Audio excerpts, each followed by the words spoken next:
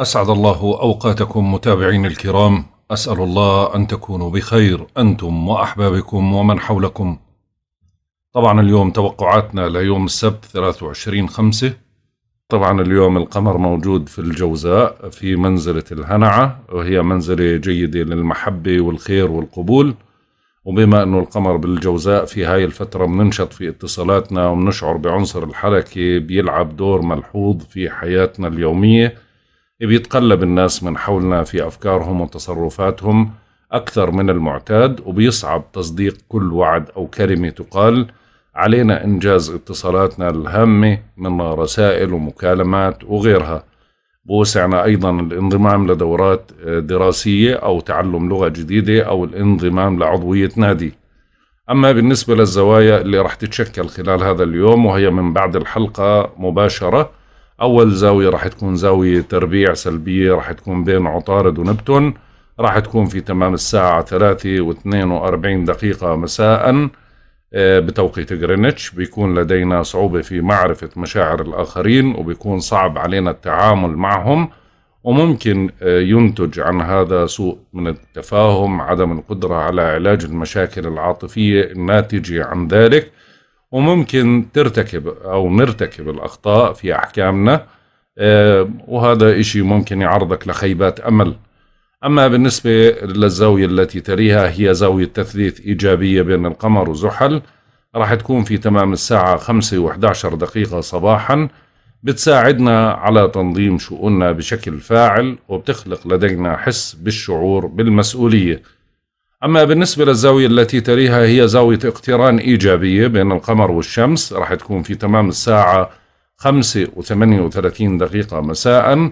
وبرضه بتوقيت جرينتش بنولي مزيد من الاهتمام لصحتنا وبنتلقى المساندة والدعم من الأصدقاء وبنتجه لتغليب العقل وبنصبح أكثر قدرة على السيطرة على مشاعرنا. أما بالنسبة للزاوية التي تليها هي زاوية تربيع سلبية بين القمر والمريخ.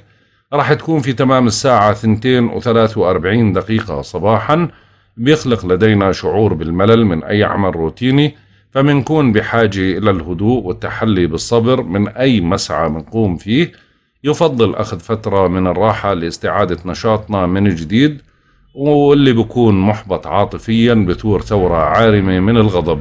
وبما أنه القمر موجود في الجوزاء معناته خلو المسار القادم راح يكون يوم 24 5 في تمام الساعة 11 وتسع دقائق ظهرا بتوقيت غرينتش وراح يستمر حتى تقريبا منتصف الليل يعني 11 و8 دقائق عند منتصف الليل لا ينتقل بعدها القمر للسرطان. أما بالنسبة لعمر القمر القمر الجديد عمره يوم في تمام الساعة ثلاثة وأربع دقائق صباحا بصير عمره يومين نسبة الإضاءة صفر في المية. أما بالنسبة لمزاج الكواكب وطباع الكواكب لهذا اليوم الشمس في الجوزاء حتى يوم عشرين ستة المزاج منتحس القمر في الجوزاء برضو حتى يوم خمسة وعشرين خمسة مزاجه منتحس عطارد في الجوزاء حتى يوم ثمانية وعشرين خمسة المزاج سعيد الزهرة في الجوزاء بيتراجع حتى يوم 25 ستة آه، مزاجه منتحس المريخ في الحوت حتى يوم 28 ستة المزاج سعيد المشتري في الجدي بيتراجع حتى يوم 12 تسعة مزاجه منتحس زحل في الدلو بيتراجع حتى يوم 1 سبعة وبعدين راح يرجع للجدي مزاجه منتحس أورانوس في الثور حتى يوم 15 8 وبعدين بيبدأ عملية التراجع مزاجه سعيد نبتون في الحوت آه، حتى يوم 23 6 وبعدين بيبدأ في عملية التراجع مزاجه سعيد. بلوتو في الجدي بيتراجع حتى يوم 14 مزاجه منتحس. وصلنا للتوقعات اليومية. برج الحمل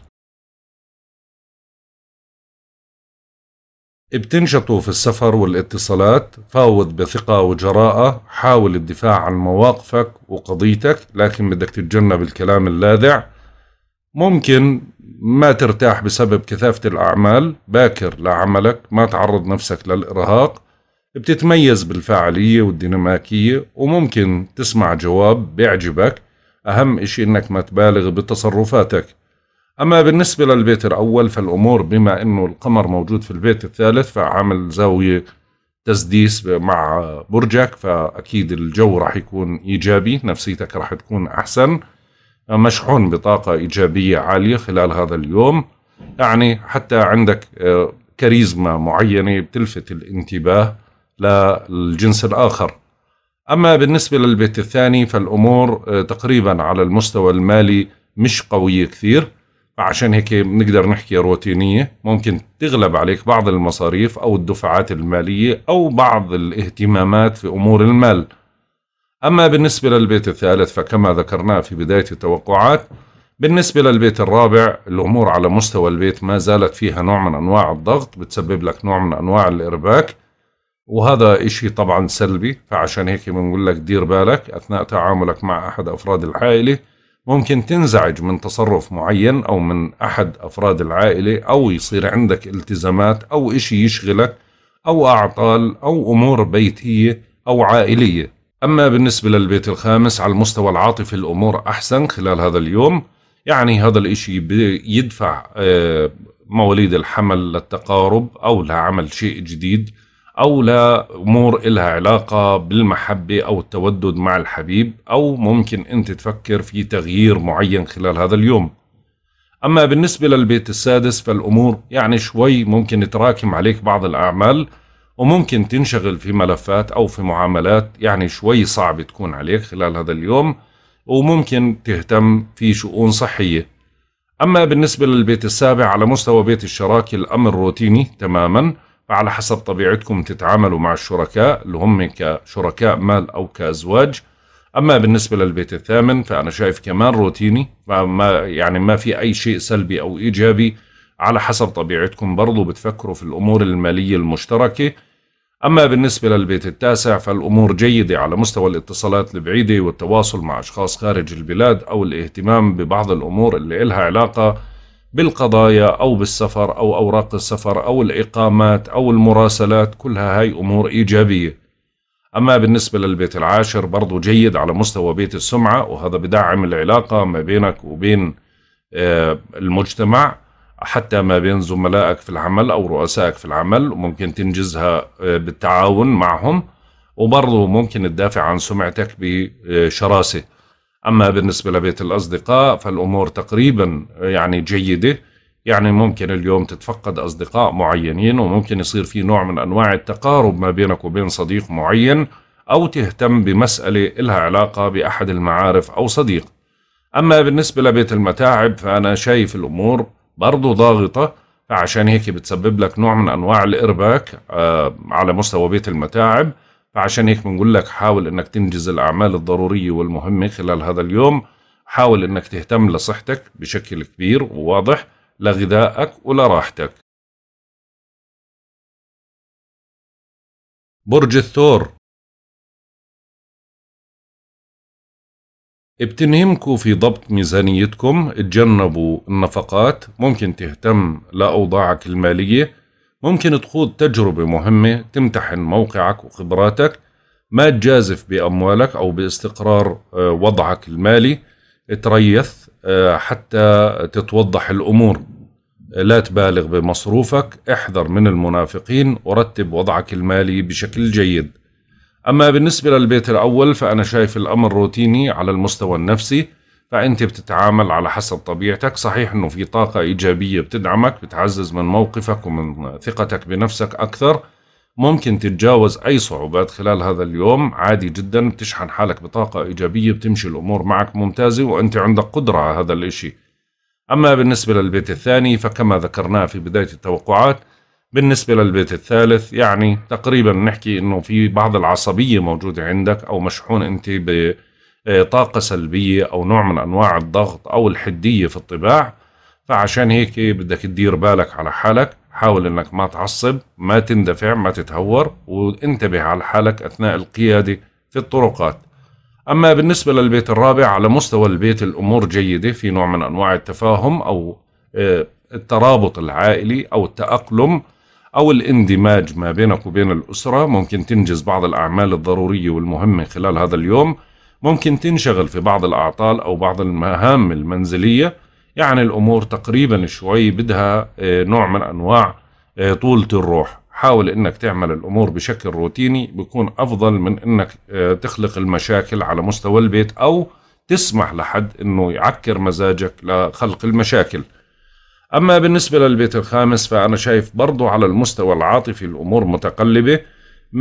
خصوصا بساعات الظهر والعصر ممكن تحتد وتعصب أو تنشغل بأمر معين فحاول قدر الإمكان إنك أنت تشحن حالك بطاقة إيجابية بدون عصبية وبدون حدية. أما بالنسبة للبيت السادس فأنا شايف الأمور تقريبا يعني برضو روتينية ممكن تنجز بعض الأعمال الضرورية والمهمة خلال هذا اليوم. وممكن يتراكم عندك بعض الأعمال لكثرتها وممكن تهتم بموضوع صحي بتعلق فيك أو في أحد الأحبة. أما بالنسبة للبيت السابع بيت الشراكة المالية والعاطفية فأنا شايف برضو يعني في نوع من الإيجابية الخفيفة اللي موجودة وبتعمل نوع من أنواع التقارب ما بينك وبين الشركاء إن كان بالمال أو بالعاطفة مثل الأزواج. وممكن يصير في نوع من أنواع الانسجام أو التفاهم على مسألة معينة. أما بالنسبة لبيتك الثامن يعني الأمور على المستوى الأموال المشتركة جيد فاليوم تقدر تطالب في بعض الأموال اللي إلك أو ممكن تحصل بعض الأموال أو يكون في فرصة لحل بعض الأمور المالية المعقدة. أما بالنسبة للبيت التاسع فالأمور جيدة على مستوى الاتصالات البعيدة والتواصل مع أشخاص خارج البلاد أو الاهتمام ببعض المسائل أو القضايا اللي إلها علاقة بأشخاص خارج البلاد أو الأمور القضائية أو حتى أمور إلها علاقة بالدراسة أو المراسلات. أما بالنسبة للبيت العاشر فالأمور جيدة فممكن برضو أنك أنت تتعامل على مستوى السمعة بقوة ممكن تدافع عن سمعتك ممكن تفرض رأيك اليوم ممكن مجتمعيا تصير يعني عندك حظوة معينة أو حضور معين ملفت للانتباه.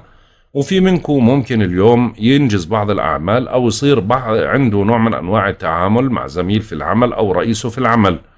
أما بالنسبة لبيت الأصدقاء فأنا شايف الأمور يعني شوي فيها نوع من أنواع الضغط أو الإرباك وهذا الإشي بسبب نوع من أنواع النفور من بعض الأصدقاء أو من صديق معين ممكن يتآمر عليك أو بحاول أنه يتدخل في شؤون حياتك أو ممكن يصير معاه موقف هذا الموقف يزعجك.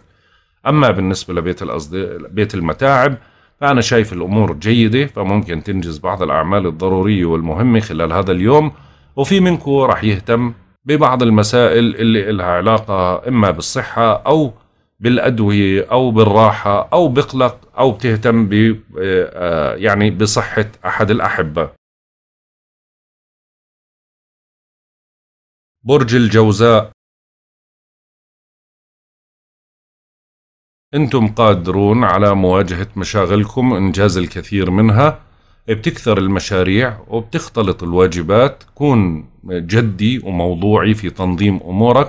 حدد أهدافك وأولوياتك باستطاعتك استعادة الموقع أو موقعك وإنجاز الكثير.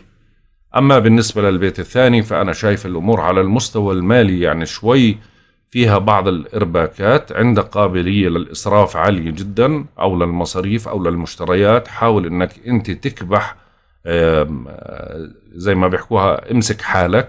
بلاش نحكيها باللغة العربية الفصحى.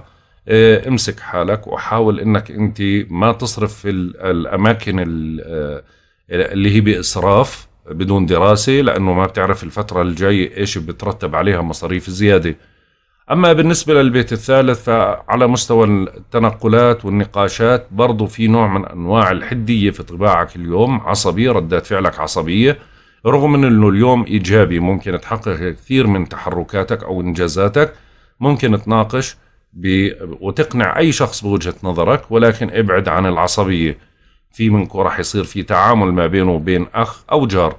أما بالنسبة للبيت الرابع على مستوى البيت في ضغط كبير موجود واضح. ممكن آه، يعني حد من البيت يستفزك أو يتدخل في شؤونك أو ترتبك لمسألة معينة. حاول أنك تمسك حالك قدر الإمكان. حاول ما تندفع ما تتهور. انجز الأعمال الضرورية والمهمة بدون ما تشربك حالك بأكثر من أمر وبدون ما تختلق المشاكل على مستوى البيت حتى لو حد استفزك. أما بالنسبة للبيت الخامس على المستوى العاطفي برضو أنا شايف الأمور يعني شوي متقلبة بين روتيني وبين عصبي بين عاطفي بين ترغب لمصالحة بدك تحكي مع الحبيب بدك تطمن عليه. هاي الأمور كلها ممكن تتقلب عندك خلال هذا النهار. حاول إنك أنت تضبطها بشكل جيد وخلي علاقتك مع الحبيب ممتازة. أما بالنسبة للبيت السادس فممكن اليوم يعني شوي تنضغط في بعض الأعمال في ساعات الظهر للعصر وبعديها بترجع الأمور روتينية. فهاي الفترة إذا حاولت إنك تنجز بعض الأعمال الضرورية وما تخليها تتراكم الأمور بتكون ممتازة ولكن في ساعات المساء الأمور بتصير أحسن. حاول إنك تراقب صحتك بشكل جيد.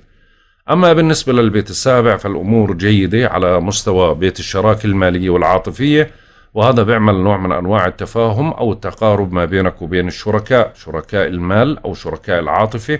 وممكن برضو يصير في تفاهم جيد جدا ما بينكم خلال هذا اليوم. وممكن آه، مصالحة معينة أو تراجع عن قرار سابق. أما بالنسبة للبيت الثامن برضو جيد على مستوى الأموال المشتركة وهذا إشي برضو بدعم الأمور المالية وبفتح لك بعض المجالات الممتازة اللي ممكن إنك تسترد بعض الأموال اللي لإلك أو إنك أنت ترتب بعض الأمور المالية اللي كانت معقدة بالفترة الماضية. أما بالنسبة للبيت التاسع فالأمور جيدة على برضه على مستوى الاتصالات البعيدة والتواصل مع أشخاص خارج البلاد. أو الاهتمام ببعض المسائل اللي لها علاقة بأشخاص بعاد عنك إيه، مراسلة إيه، أوراق قانونية معاملات أي أشياء من هذا القبيل بدك تهتم فيها بشكل جيد. إلى أنه في فرصة ممتازة ممكن تحقق من خلالها كثير من الإيجابيات. أما بالنسبة لبيت السمعة فأنا شايف أنه ضاغط عليك فعشان هيك بنقول لك حاول إنك تحافظ على سمعتك ما تنجر وراء أي عمل مشبوه. ما تحاول إنك تدخل في أي شيء مخالف للقوانين رتب الأمور بشكل جيد حاول إنك أنت تتواصل آه، مع أو تنجز أعمالك بشكل قانوني بدون أي مغامرات. بالنسبة للعمل حاول إنك ما تتأخر عن عملك وما تدخل بأي مشاحنات أو مشاكل ما بينك وبين زملائك بالعمل أو رئيسك بالعمل. أما بالنسبة لبيتك 11 فبيت الأصدقاء جيد. فهذا بيعمل نوع من أنواع التناغم أو التقارب ما بينك وبين أحد الأصدقاء أو مجموعة من الأصدقاء وممكن يكون في لقاء أو يعني اجتماع أو آه، اطمئنان. أما بالنسبة لبيت المتاعب فهو روتيني ما في أي شيء لا إيجابي ولا سلبي. عشان هيك بتقدر تنجز بعض الأعمال الضرورية والمهمة خلال هذا النهار وفي منكم راح يهتم ببعض المسائل اللي إلها علاقة إما بالصحة أو إلها علاقة بالتغذية. برج السرطان. بينال التعب منكم ضعوا سلم الأولويات للعمل الضروري والعاجل وانتبهوا كثير لغذائكم وراحتكم بهاي الفترة. لأنه القمر موجود في بيت المتاعب فهو بضعف عليكم بيت المتاعب وبضعف عليكم بيت الشخصية. فعشان هيك بشير القمر دائما في هاي المرحلة لما بكون في هذا المكان للركود والتأخير في سير الأمور. بدك تحاذر من التراجع الصحي والمعنوي استريح بعيد عن الأضواء ما تختلق أعذار ما تتهرب من المسؤوليات أو من المهام. أما بالنسبة للبيت الأول فزي ما حكينا أنه لما بضغط بيت المتاعب بضغط البيت الأول فبخلي نفسيتك شوي متقلبة خلال هذا اليوم وفي نوع من أنواع الحدية أو العصبية بتكون ظاهرة عليك.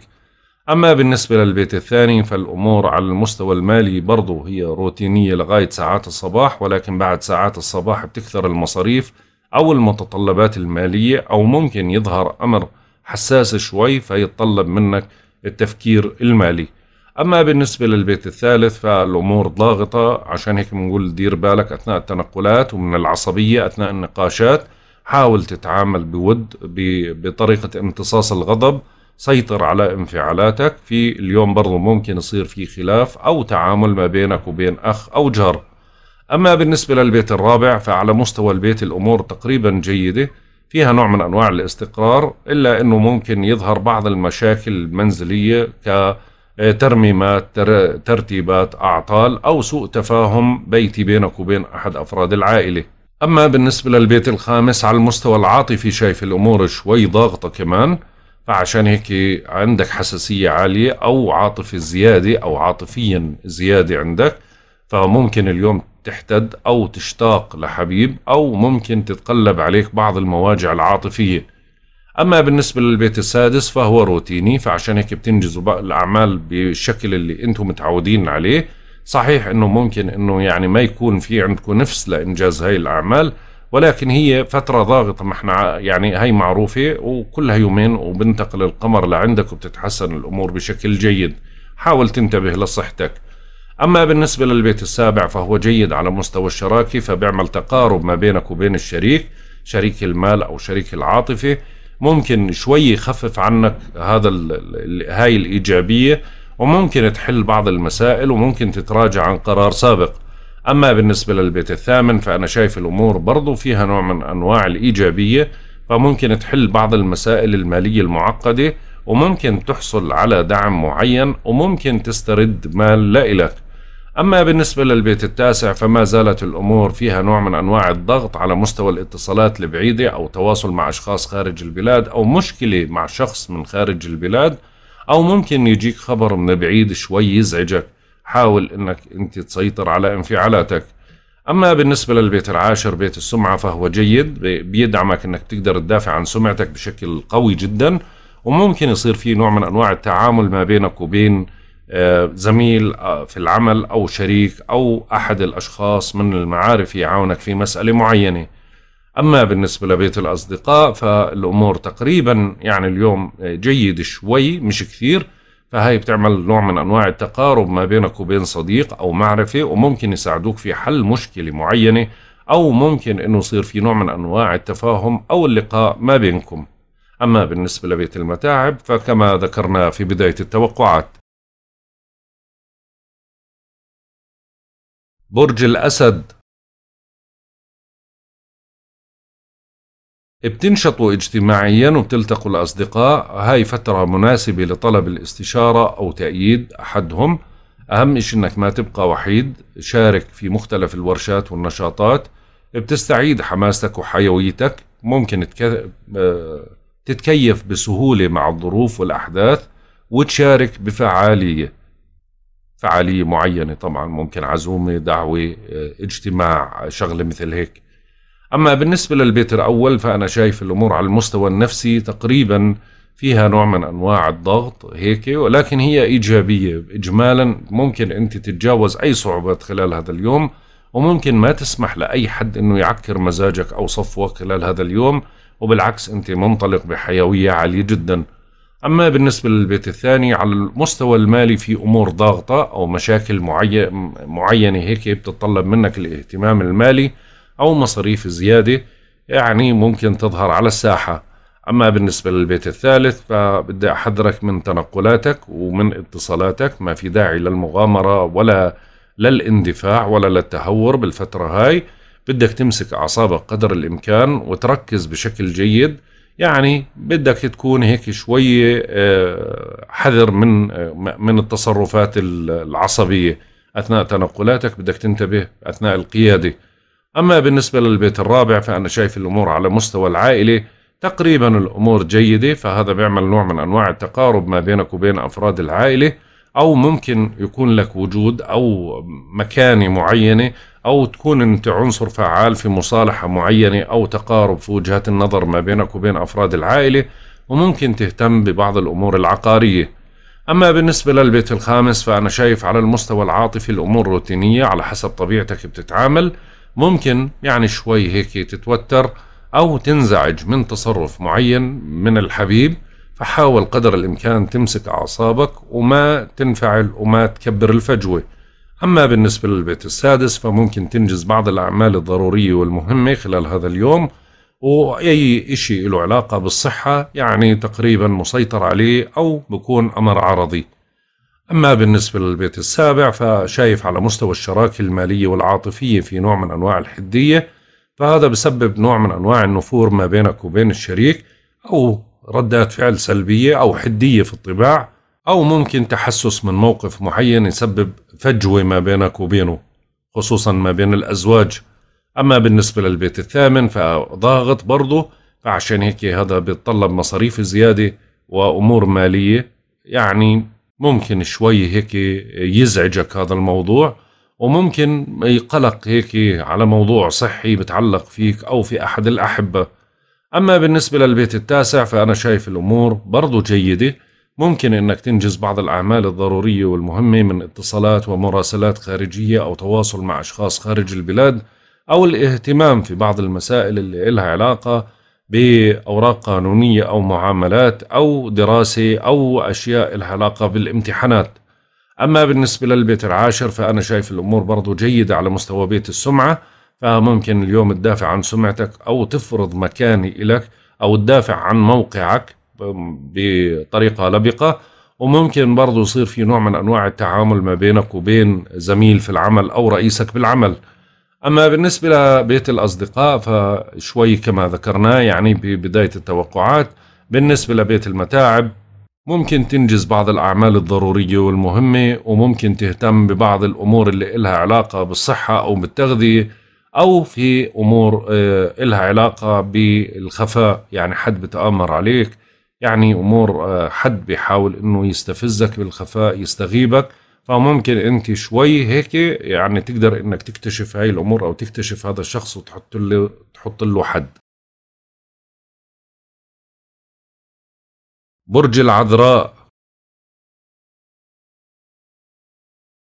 حافظوا على سمعتكم وإنجازاتكم القائمة في مجال العمل. ممكن اليوم تقدم أفضل ما لديك لعلك تحقق إنجاز أو تحرز تقدم مفاجئ.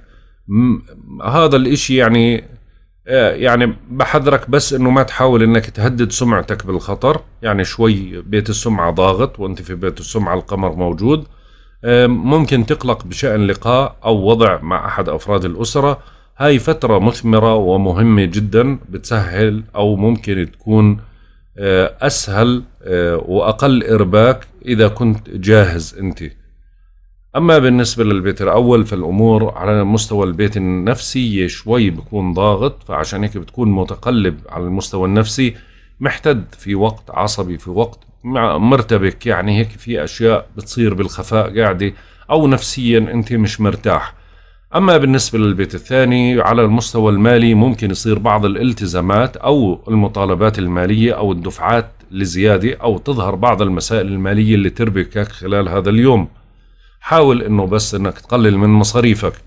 أما بالنسبة للبيت الثالث فهو جيد على مستوى الاتصالات والمواصلات والتنقلات والنقاشات وممكن تهتم في أمور إلها علاقة إما بهاتف أو في سيارة أو باتصالات بأشخاص معينين.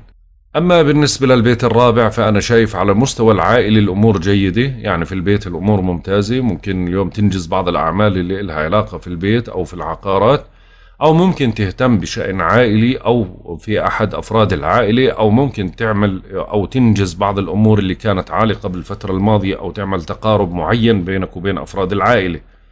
أما بالنسبة للبيت الخامس فالأمور جيدة على المستوى العاطفي وهذا بيعمل نوع من أنواع التقارب ما بينك وبين الأحباء وممكن مصالحة وممكن إنجاز بعض الأعمال الضرورية والمهمة اللي بتعمل نوع من أنواع التوافق ما بينك وبين الحبيب. أما بالنسبة للبيت السادس فالأمور ضاغطة فعشان هيك مطلوب أعمال كثيرة عليك أو التزامات كثيرة. فممكن أنه اليوم تنجز بعض الأعمال ولكن في أعمال ممكن ما تقدر تنجزها خلال هذا اليوم وحاول أنك تراقب وضعك الصحي. أما بالنسبة للبيت السابع فأنا شايف على مستوى الشراكة المالية والعاطفية الأمور روتينية ما في أي شيء لا إيجابي ولا سلبي. فبتتعامل على حسب طبيعتك مع شركاء المال أو شركاء العاطفة اللي هم زي الأزواج. أما بالنسبة للبيت الثامن على مستوى الأموال المشتركة برضو الأمر روتيني على حسب طبيعتك وعملك ومكانتك الاجتماعية وطبيعة الوضع المالي تاعك. ممكن تتصرف أنت خلال هذا اليوم ولكن إنه بحذر أنا من المصاريف الزيادة أو المتطلبات المالية الزايدة. أما بالنسبة للبيت التاسع فهو جيد على مستوى الاتصالات البعيدة والتواصل مع أشخاص خارج البلاد أو الاهتمام ببعض المسائل اللي لها علاقة يعني بأوراق قانونية أو معاملات أو آه، أمور لها علاقة ب اللي هي المؤسسات التعليمية. أما بالنسبة للبيت العاشر بيت السمعة فكما ذكرناه في بداية التوقعات بالنسبة لبيتك 11 يعني في نوع من أنواع الضغط مع ما بينك وبين أحد الأصدقاء أو ما بينك وبين أحد المعارف وهذا السبب يعني بسبب نوع من أنواع النفور أو الحدية بالطباع أو العصبية. حاول أنك تسيطر على عصبيتك قدر الإمكان. أما بالنسبة لبيت المتاعب فممكن تنجز بعض الأعمال الضرورية والمهمة والأهم أنك تراقب وضعك الصحي وراحتك وتأخذ قسط كافي من الراحة. برج الميزان. اللي بيتقدم لامتحان أو مقابلة بده يستعد بشكل جيد خلال هذا اليوم. هاي فترة حافلة بالنشاطات ممكن تتلقى خبر من الخارج أو من جهة غريبة. حاول تسهيل أمورك تهتم بثقافة مختلفة لبعض الأمور. وممكن تصير بعض الأمور اللي تشجعك اليوم للانضمام لنادي أو لجمعية أو للقاء معين. أما بالنسبة للبيت الأول فأنا شايف الأمور تقريبا يعني جيدة شيئا ما. نفسيا أنت محش يعني مشحون بطاقة إيجابية ممكن تنجز بعض الأعمال الضرورية والمهمة خلال هذا اليوم وممكن تهتم بشؤونك النفسية أو الصحية بشكل جيد. أما بالنسبة للبيت الثاني فأنا شايف الأمور برضو أحسن وهذا الإشي يعني ممكن يعمل نوع من أنواع الحلول لبعض الأمور الضاغطة المالية وممكن تظهر بعض الأمور اللي إلها علاقة بالضغط المالي. مصاريف زيادة أو متطلبات مالية حاول إنك أنت ما تصرف في مكان غير مناسب. أما بالنسبة للبيت الثالث فالأمور جيدة على مستوى التنقلات والاتصالات والنقاشات والدراسة كلها تقريبا أمور ممتازة وممكن يصير في تعامل جيد ما بينك وبين أخ أو جار خلال هذا اليوم. أما بالنسبة للبيت الرابع على المستوى البيت برضو الأمور جيدة. دعم من موقفك ومن مكانتك وبتعمل نوع من أنواع التقارب ما بينك وبين أحد أفراد العائلة. وممكن أنك تحل بعض المشاكل العائلية اللي كانت عالقة بالفترة الماضية وممكن تنجز أمور كان صعب أنك تنجزها برضو بالفترة الماضية لأمور بيتية أو عائلية. أما بالنسبة للبيت الخامس على المستوى العاطفي شوي الأمور يعني متقلبة بين إيجابي وسلبي طول اليوم. يعني عواطفك شوي متغ... هيك جياش شوي بتهتم بالحبيب زعلان من حبيب زعلان من مشكلة صارت ما بينك وبينه. بتحاول تعمل مصالحة أو تتراجع عن قرار سابق أشياء من هذا القبيل. أما بالنسبة للبيت السادس فهو جيد على مستوى العمل فممكن تنجز بعض الأعمال الضرورية والمهمة خلال هذا اليوم وأهم شيء أنك تهتم بشؤونك الصحية. أما بالنسبة للبيت السابع فهو روتيني ما في ما في لا إيجابي ولا سلبي بالنسبة لتعاملك ما بينك وبين الشريك شريك المال أو العاطفة. أما بالنسبة للبيت الثامن يعني تقريبا روتيني فممكن تنجز بعض الأمور المالية على حسب طبيعتك على حسب اهتماماتك. يعني ممكن تظهر بعض المسائل المالية اللي شوي يكون فيها يعني نوع من أنواع الإرباك. أما بالنسبة للبيت التاسع فهو كما ذكرناه في بداية التوقعات بالنسبة للبيت العاشر الأمور جيدة على مستوى بيت السمعة فممكن تنجز بعض الأعمال الضرورية والمهمة وممكن اليوم يصير في نوع من أنواع التعامل ما بينك وبين زميل بالعمل أو رئيسك بالعمل. أما بالنسبة لبيت الأصدقاء برضو الأمور جيدة. وهي بتدعم علاقتك بصديق معين وممكن يصير في نوع من أنواع التعامل أو التعاون ما بينكم أو لقاء مثلا آه، دعوة أو حفلة أو اجتماع. أما بالنسبة لبيت المتاعب فهو ممتاز جدا بيدعمك في كثير من المسائل ولكن أهم شيء إنك تترك الوسواس على جنب ما توسوس ما تفكر في أمور سلبية خلي الأمور تمشي آه، كما هي. الأمور جيدة ما في داعي للخوف من أي شيء هذا اليوم. برج العقرب. أدخلوا التعديل المطلوب على أموركم المالية المشتركة. ما تسمح لأحد بالتشكيك بقدراتك. ما تكون جارح بالكلام. حاول أنك تفاوض بهدوء وبدبلوماسية. كون حريص على حقوقك. تتحسن الأجواء وبتحصل على الفرصة المناسبة لتبرير أخطائك. أما بالنسبة للبيت الأول فأنا شايف الأمور آه، تقريبا على المستوى النفسي روتيني ما في أي شيء لا إيجابي ولا سلبي بس هي أفضل من الفترة الماضية. يعني تقريبا نفسيتك أحسن من الفترة الماضية رغم الضغوطات الموجودة. أما بالنسبة للبيت الثاني على المستوى المالي ممكن تظهر بعض المسائل المالية اللي شوي تنعش وضعك أو ترتبها بشكل إيجابي أو ممكن يصير بعض الاهتمامات المالية ولكن أهم إشي أنك تحافظ على المصاريف بشكل جيد. أما بالنسبة للبيت الثالث فهو جيد برضو بيدعمك على مستوى النقاشات والحوارات والتواصل والتنقلات وحتى الاهتمام بالمجتمع جيد جدا حتى ممكن اليوم يصير في تعامل خاص ما بينك وبين أخ أو جار. أما بالنسبة للبيت الرابع فأحسن من الأيام الماضية. تقريبا اليوم في نوع من أنواع الانسجام أو التقارب ما بينك وبين أفراد العائلة أو حل مشكلة عائلية سابقة ممكن تهتم ببعض الأعطال أو الاهتمامات العائلية.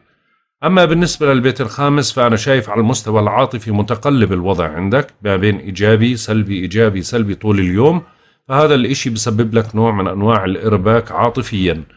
أما بالنسبة للبيت السادس فممكن تنجز بعض الأعمال الضرورية والمهمة خلال هذا اليوم آه، بجهد عالي وممكن برضو تهتم بشؤون صحية.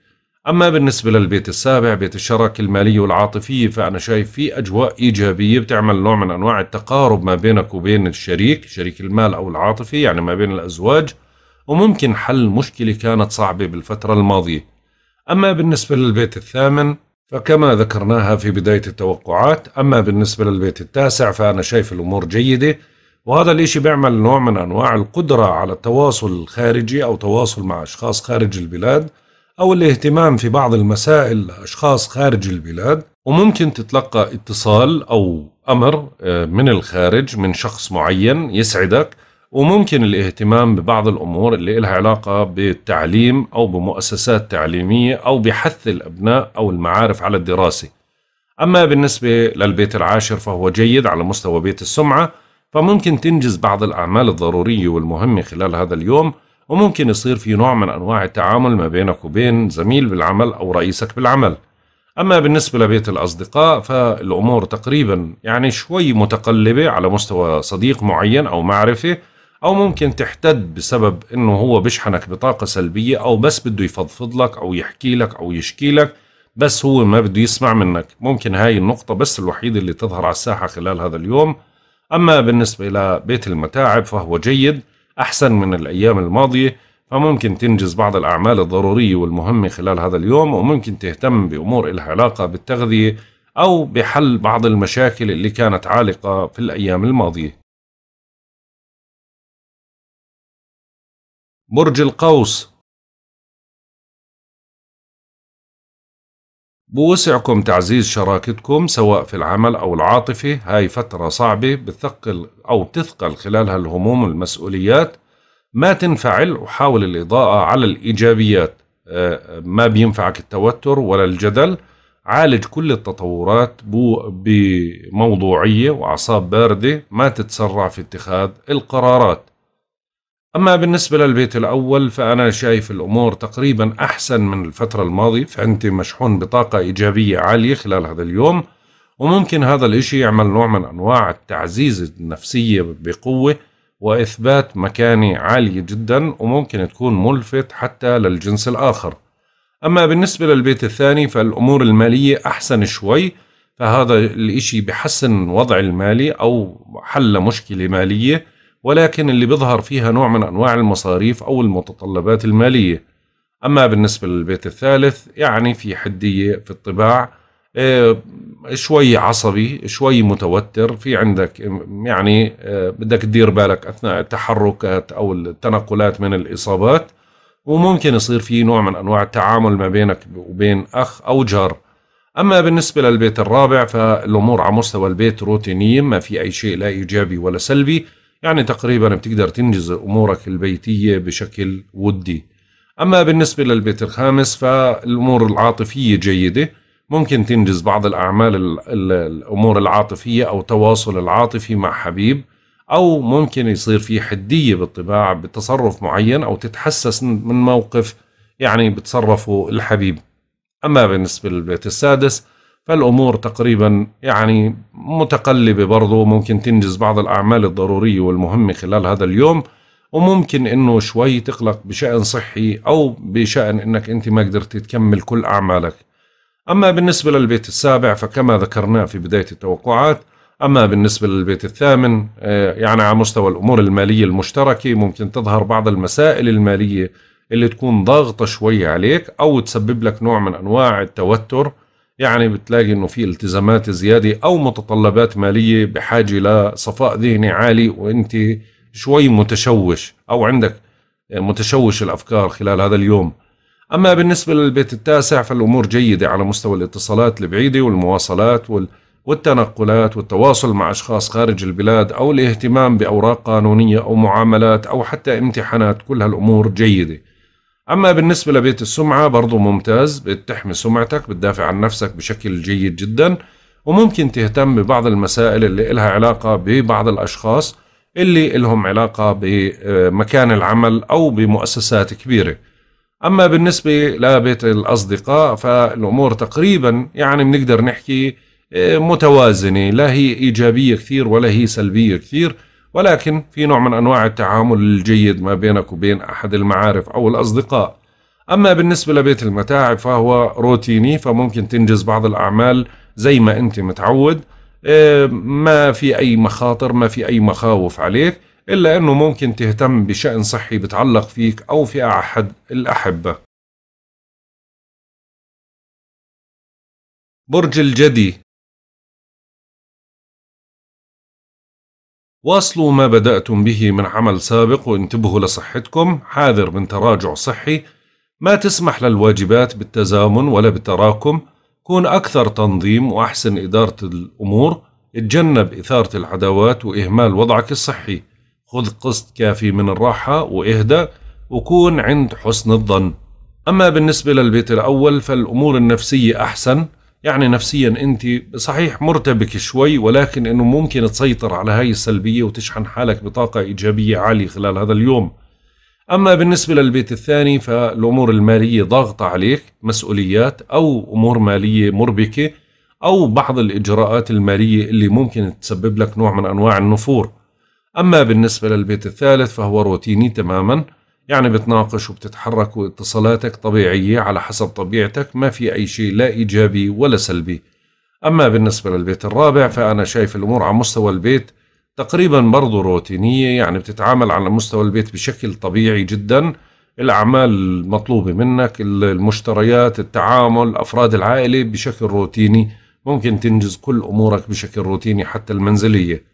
أما بالنسبة للبيت الخامس يعني شوي برضو متقلب على المستوى العاطفي وهذا شوي بسبب لك نوع من أنواع الإرباك لأنه في لحظات روتيني لحظات عصبي لحظات محتد لحظات في مشاكل لحظات عاطفي زيادة هذا شوي بسبب لك نوع من أنواع التوتر.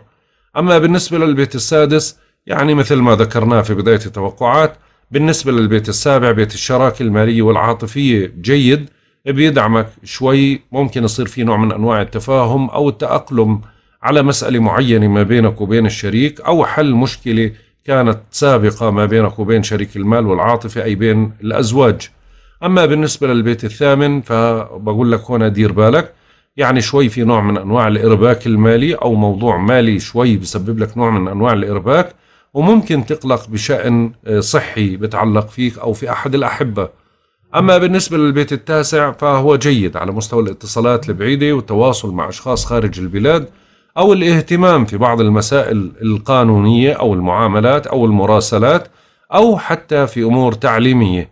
أما بالنسبة للبيت العاشر فالأمور على مستوى البيت العاشر ضاغطة فشوي بتسبب لك نوع من أنواع الإرباك فبنقول لك دير بالك ما في داعي للتهور ولا للاندفاع ولا للعصبية. وممكن يصير في نوع من أنواع التفاهم الإيجابي ما بينك وبين زميلك في العمل أو رئيسك بالعمل. أما بالنسبة لبيتك 11 بيت الأصدقاء شوي يعني تقريبا متقلب خلال هذا اليوم ولكن بيفتح لك بعض المجالات للتواصل مع صديق أو للفضفضة أو للقاء على مسألة معينة أو حل مشكلة كانت عالقة عندك. أما بالنسبة لبيت المتاعب فهو جيد جدا وهو شوي بدعمك بقوة خلال هاي الفترة ممكن تنجز بعض الأعمال الضرورية والمهمة وممكن تهتم بشؤون صحية بتتعلق فيك أو في أحد الأحبة. برج الدلو. ما بيتخلى الحظ عنك عاطفيا ولا ماليا؟ بتكثر التنقلات والزيارات أو الاتصالات وبتتحسن الأجواء نسبيا بتصبح الأجواء أكثر سهولة ممكن تظهر لقاءات طارئة مع الإخوة وممكن مع الحبيب. قدم لهم المساعدة والدعم إذا لزم الأمر فترة ناجحة وبرضه مطمئنة. أما بالنسبة للبيت الأول يعني جيدة نفسيتك أحسن خلال هذا اليوم مشحونة بطاقة إيجابية عندك قدرة على آه، حل كثير من المسائل وبرضه ملفت للانتباه للجنس الآخر. أما بالنسبة للبيت الثاني فالأمور برضو على المستوى المالي في بعض التحسن فيها. ممكن تنجز بعض الأمور المالية ولكن ممكن تكثر المصاريف من جهة أخرى. أما بالنسبة للبيت الثالث فهو جيد على مستوى التنقلات والاتصالات والتحركات وحتى على النقاشات جيدة وممكن تعزز يعني بعض القدرات اللي عندك وممكن أنت اليوم تقدر يعني تقنع أي شخص بوجهة نظرك. أما بالنسبة للبيت الرابع على مستوى البيت في نوع من أنواع الضغط يعني شوي بتسبب لك نوع من أنواع الإرباك ما بينك وبين أحد أفراد العائلة وممكن برضو مسألة آه، تظهر على الساحة مشكلة نقاش حدية في الطباع أعطال اهتمامات عقارية كلها هاي ممكن يظهر أي أمر منها خلال هذا اليوم يسبب لك نوع من أنواع الإرباك. أما بالنسبة للبيت الخامس فكما ذكرنا في بداية التوقعات بالنسبة للبيت السادس جيد شيئا ما فممكن تنجز بعض الأعمال الضرورية والمهمة خلال هذا اليوم. مش كل الأعمال وممكن يتراكم عندك بعض الأعمال وممكن تقلق بشأن صحي لك أو لأحد الأحبة. أما بالنسبة للبيت السابع فهو جيد على مستوى بيت الشراكة وهذا بدعم العلاقة ما بينك وبين الشريك. يمكن تعمل مصالحة أو تقارب في وجهات النظر أو حل مشكلة كانت عالقة أو تتراجع عن قرار سابق كنت متخذه. أما بالنسبة للبيت الثامن برضو الأمور المالية بتظهر هنا بصعوبتها وهذا بسبب لك نوع من أنواع الإرباك الحاجة المالية والضغط المالي. أنت من يعني طبيعة دلو ما بيتحمل الضغط المالي دائما بحاول يجد الحلول. لكن الفترة هاي شوي فيها نوع من أنواع الصعوبة بتحتاج الصبر. الفترة القادمة ممكن تساعدك وممكن اليوم تظهر بعض المسائل اللي تساعدك في هاي الأمور. أما بالنسبة للبيت التاسع فهو جيد على مستوى الاتصالات البعيدة والتواصل مع أشخاص خارج البلاد أو الاهتمام آه، في بعض المسائل القانونية أو المعاملات أو إنجاز معاملة كان صعب أنك تنجزها بالفترة الماضية. أما بالنسبة للبيت العاشر فهو جيد فممكن تنجز بعض الأمور بالتعاون مع زميل أو معرفة أو علاقة معينة وممكن اليوم تحل مسألة يعني شوي كانت مربكة بالفترة الماضية. أما بالنسبة لبيت الأصدقاء فأنا شايف الأجواء تقريبا إيجابية. ممكن يصير في نوع من أنواع التعامل ما بينك وبين صديق معين أو معرفة يعني واسطة لحل مشكلة معينة أو لموضوع معين أو لوظيفة أو لا يتواسط ما بينك وبين أشخاص لحل إشي معين. برضو اليوم إيجابي. أما بالنسبة للبيت المتاعب الجيد بيدعمك فعشان هيك ممكن تنجز كثير من الأعمال خلال هذا اليوم. وممكن تهتم بشؤون صحية أو تغذية أو أمور إلها علاقة بالرياضة أو بالحركة أو بالفيتامينات أو المكملات الغذائية. برج الحوت. بتنهمكوا بأمور إلها صلة بالبيت والعائلة. أهم شيء إنك ما تتهرب من المسؤوليات حتى ولو كثرت. نظم وقتك بشكل جيد تفادي لأي تقصير ما تبخل على العائلة بالعطف والنصائح. هاي فترة مناسبة للارتباط ممكن أه، تشعر بالانزعاج أو قلق حول مسألة شخصية. أما بالنسبة للبيت الأول فأنا شايف الأمور المتقلبة على المستوى النفسي خلال هذا اليوم. يعني مرات إيجابي مرات سلبي مرات محتد مرات يعني في تقلبات نفسية موجودة عندك. حاول تشحن حالك بطاقة إيجابية وتتجاوز هاي الشحنات السلبية اللي موجودة حواليك. أما بالنسبة للبيت الثاني يعني على المستوى المالي ممكن تلوح بعض الفرص المالية اللي بتجيك يا إما من عمل إضافي يا دعم مالي يا مساعدات يا هبات يا هدايا يا أشياء من هذا القبيل. أم أهم شيء أنك تقلل من مصاريفك. أما بالنسبة للبيت الثالث فجيدة على مستوى التنقلات والاتصالات وممكن تقنع أي شخص بوجهة نظرك خلال هذا اليوم وممكن تبرع حتى في أمور المناقشة والحوار والدراسة الامتحانات التنقلات التليفونات كلها هاي الأمور يعني تقريبا بتكون جيدة.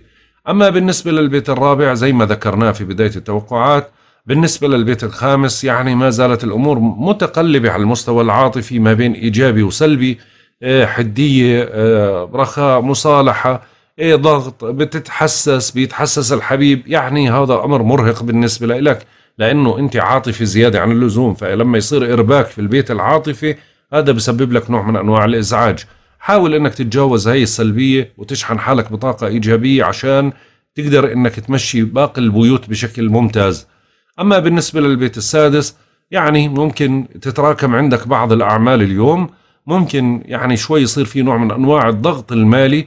أو الضغط في مسائل العمل يعني تقسم إشي مهم وإشي مش مهم وإشي بعدين وتأجل. هذا التأجيل ممكن يسبب لك إرباك في الفترة القادمة. حاول أنك تنجز أمورك وما تخلي الأعمال تتراكم عندك. ممكن تقلق بشأن صحي بتعلق فيك أو في أحد الأحبة. أما بالنسبة للبيت السابع فالأمور تقريبا جيدة وهذا بيعمل نوع من أنواع التقارب ما بينك وبين الشريك شريك المال أو العاطفة ممكن تتراجعوا عن قرار سابق وممكن تحلوا مشكلة كانت عالقة عندكم. أما بالنسبة للبيت الثامن فالأمور برضو يعني الأمور المالية بتظهر على الساحة بطريقة أخرى اللي هي الأموال المشتركة. يا أمور إلها علاقة بأموال ما بتعود لك يا إما ديون بتحاول تطالب فيها وبتتأجل بترتفض يا إما التزامات زيادة بتظهر على الساحة.